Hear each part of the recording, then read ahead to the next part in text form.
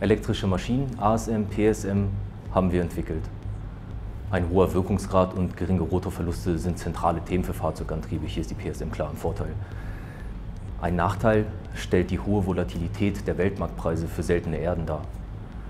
Je höher die Temperatur des Rotors und damit äh, die Temperatur der Permanentmagnete, umso mehr Dysprosium oder Terbium muss man einsetzen.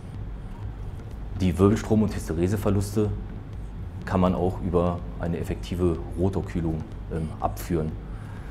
Neben der ASM ist die FSM eine weitere magnetlose Maschinenvariante. Mit dieser Maschine sind Autobahnfahrten in bestimmten Betriebsbereichen äh, noch effizienter möglich im Vergleich zu PSM.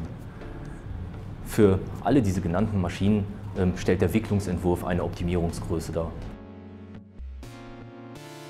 Hier ist die Frage Runddrahtwicklung oder Profilleiter, Einschichtwicklung oder Zweischichtwicklung. Klar, bei der Zweischichtwicklung wird der Hauptwellenwicklungsfaktor reduziert, was zu einer Verringerung des Peak-Drehmoments und damit der Anfahrperformance führt.